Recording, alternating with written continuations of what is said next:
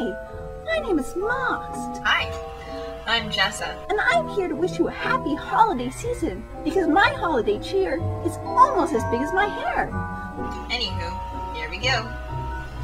On the 12th day of Xmas, my Phileas gave to me 12 spaceship sightings, 11, 21, 10, 13, 9 missing minutes, 8 months with William, 7 sexless seasons, 6 creepy eves, 5 pairs of kitties, 4 fanfic novels, 3 lone gunmen, 2 blurry photos, and a bag of sunflower seeds.